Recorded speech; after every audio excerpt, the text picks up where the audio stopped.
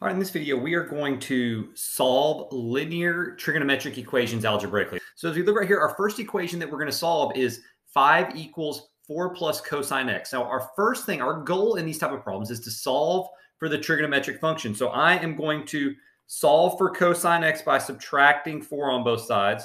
And then we're going to end up with cosine x equals 1.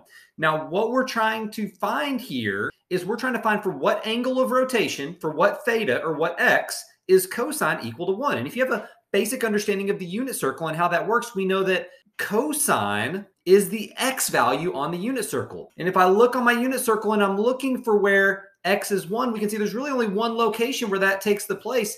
x is 1 when our angle of rotation is 0 radians. So in this particular case, x equals 0 radians. It's also 0 degrees, but I set up top to answer in radians. Now let's look at our other example. But once again, we've got sine x, and this is our little trig function that we're going to try to solve for. I'm going to try to get this by itself.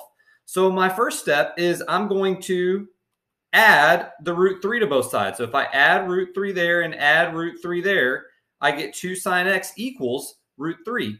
And now I've still got this leading coefficient out in the front. And so I want to get rid of that leading coefficient of 2. So I'm going to divide by 2 on each side to isolate my trig function. So we have sine x equals root 3 over 2. Now, if you recall, sine x, when defined on the unit circle, is just the y coordinate. So if I'm looking for where where is y equal to root 3 over 2, and you see, oh, it's right there. It's at 60 degrees. Or, or if we're in radians, it's at pi over 3.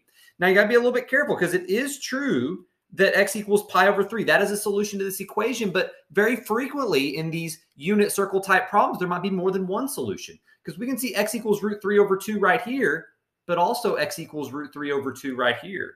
So it's not just pi over 3, it's also 2 pi over 3. So this equation has two different solutions. Now, let's do another slide. These are going to be our last two problems, and we're going to kick it up a notch here. So what we're about to do here is we are going to do the same thing. I've got cosecant x here and cosecant x here. So I'm going to group those on the same side of the equation using basic algebra. And then copy down what I have. Then I've got this leading coefficient of negative 1. And so I'm going to divide by negative 1 on both sides of my equation. Now, we know that if I'm looking for sine, I'm looking for the y coordinate. If it's cosine, I'm looking for the x coordinate, and tangent is y over x. However, whenever I look right here, we have cosecant, and cosecant is not really evident on our unit circle. But what we do know about cosecant is this.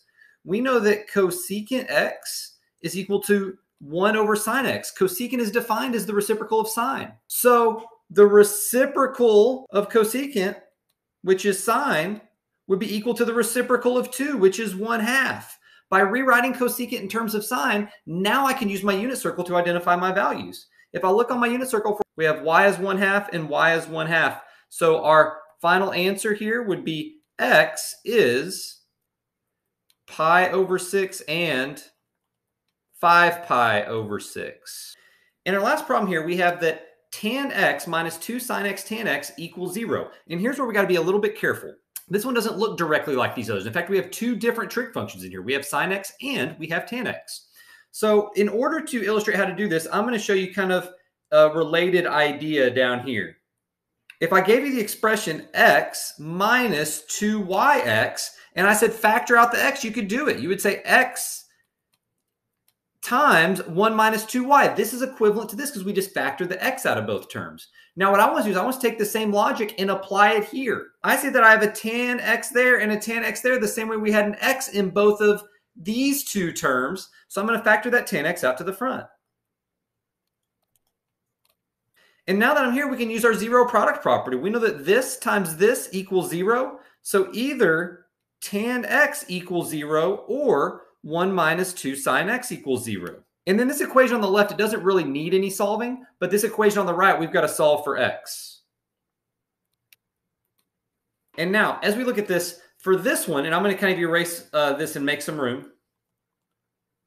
Right here, where tan x equals 0, we got to remember, I haven't done one with tangent yet, but tangent is just y divided by x. So I'm looking for where is y divided by x equals 0? Well, 0 over anything equals 0. So we're basically looking for where is y equal to zero. To solve this equation, I need to know where y is zero. And I know y is zero there at zero radians. and y is 0 there at pi radians. So for this equation down here, x equals 0 and pi. Now for our other equation, we're going to get some more solutions from this statement right here, where sine x equals negative 1 half. If I come over here, that means I'm looking for where the y-coordinate is 1 half. The y-coordinate is 1 half there and there. So that's going to give us our same solutions. I think we may have had those in the previous problems. Oh, yeah, we did right there of pi over 6 and 5 pi over 6. So that is how you solve trig equations using the unit circle. You isolate the trig function and then look for that value in either the x for cosine, the y for sine, and y over x for tangent.